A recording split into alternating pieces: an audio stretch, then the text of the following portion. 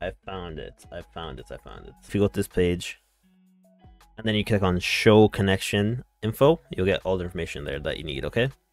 I can't show it to you guys because it shows my private stuff that I can't show it to you guys, so.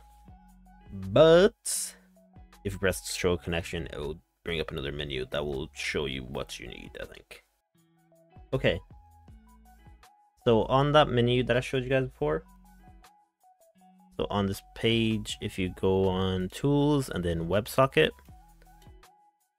you then press generate password, and then don't forget to press apply, and then you should be build go show connection info, and then I think may also have to press enable WebSocket server. Let's see if that breaks it.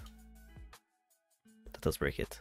Yeah, so need to have that enabled. Anyways, okay, and then it should start working perfectly.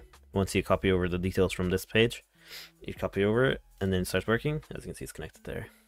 And just make sure you don't show that live on stream, because otherwise your IP will get leaked. Yay, let's go.